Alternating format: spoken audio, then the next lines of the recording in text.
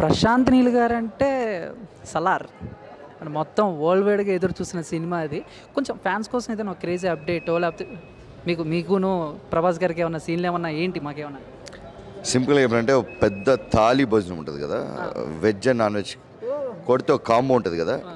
Prashanth will do it. December twenty సెకండ్కి ప్రభాస్ అన్న సలార్. మనందరం ఎదురు చూస్తున్న సలార్ సినిమా రిలీజ్ అవుతుంది. ఏంటి ప్రభాసా? ప్రభాస్ సినిమా కూడా వచ్చింది. వెయిట్ విల్ సి బంబాట్ ప్రభాస్. ఓకే. అది బాగుండాలి.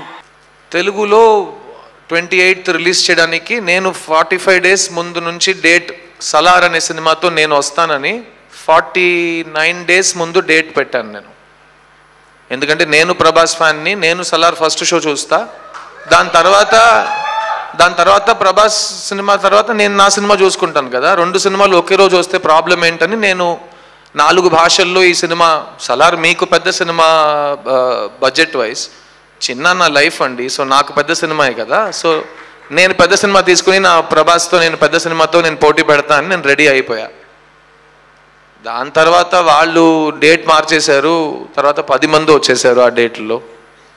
సో ఆ పది మంది వచ్చిన తర్వాత పర్లేదులే. సిద్ధార్థ్ అంటే August twenty ninth boys cinema release అయ్యి ఇరవై సంవత్సరాలు అయినాయి సో సిద్ధార్థ్ అనేవాడు కొత్తవాడైతే కాదు. ఓకే ఆడికి మార్కెట్ టాలెంట్ టాలెంట్ మీద నమ్మకం ఒక్కొక్క రిలేషన్షిప్లో పెద్దోళ్ళతో రిలేషన్షిప్ ఇవన్నీ నాకు ఫస్ట్ నుంచి ఉండే. సో నేను కాన్ఫిడెంట్గానే ఉన్నా. ఇంకా ఎనిమిది కాదు ఇరవై సినిమాలు వచ్చినా నేను ఇరవై ట్వంటీ ఎయిత్ నేను తెలుగు రిలీజ్ చేస్తానని నేను ఫిక్స్ అయ్యా. సలార్.